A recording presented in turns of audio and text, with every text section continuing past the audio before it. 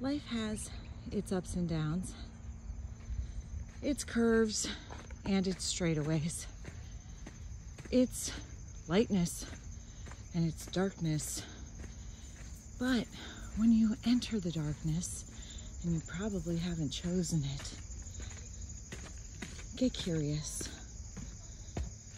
What is this going to teach me? How am I going to learn from this? How am I going to grow through it?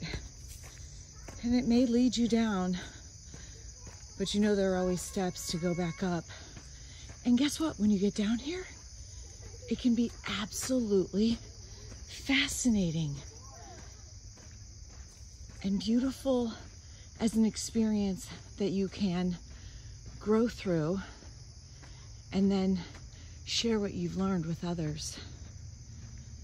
Always stay curious and always remember there are steps up into the light at the end of this walkway.